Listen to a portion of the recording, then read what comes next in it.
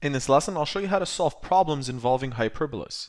The question reads, one transmitting station is located 100 miles due east from another transmitting station. Each station is simultaneously sending out a radio signal. The signal from the west tower is received by a ship 1600 over 3 microseconds after the signal from the east tower. If the radio signal travels at 0.18 miles per microsecond, find the equation of the hyperbola on which the ship is presently located. The first time I read this, I figured that the best way to represent what's happening is on an xy plane. So let's begin by drawing out an xy plane that looks like this. And we have two towers that are sending out signals. They're 100 miles apart.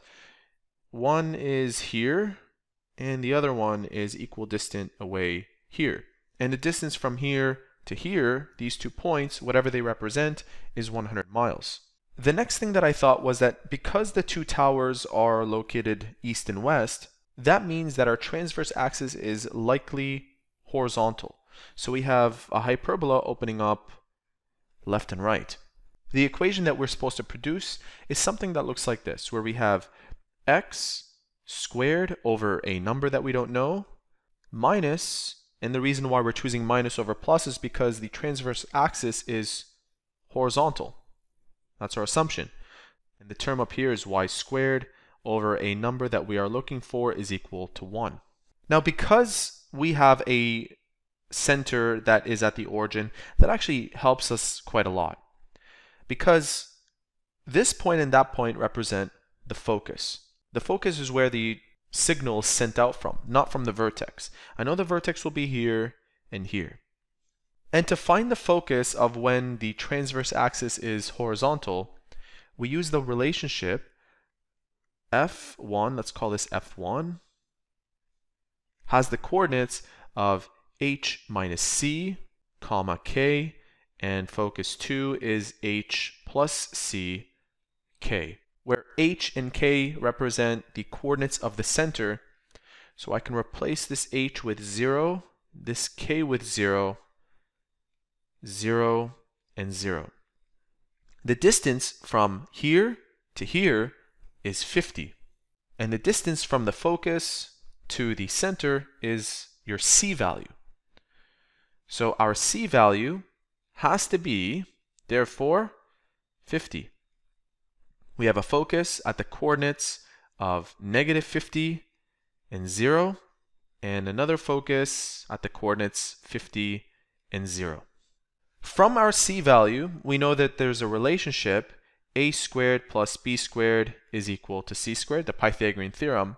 When we find a squared, we place it right into there, and when we find b squared, we place it into there.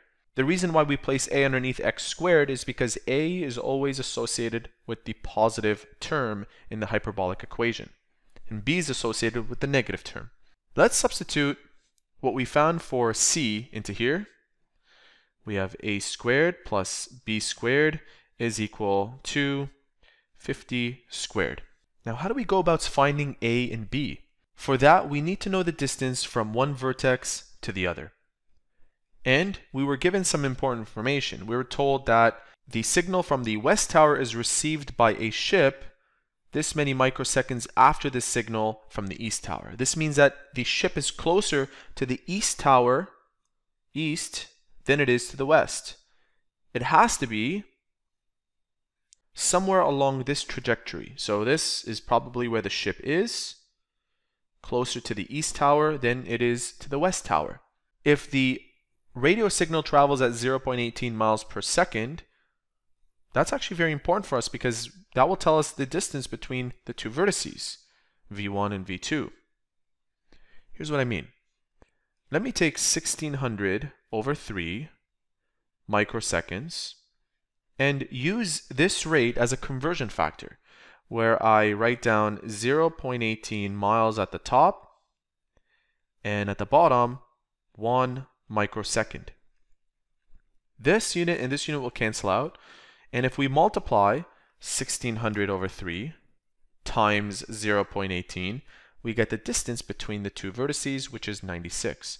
So the distance from here to here is 96. Let me continue my analysis of this hyperbola. Remember a hyperbola, if we were to draw the asymptotes along the origin, it would form a box in the middle.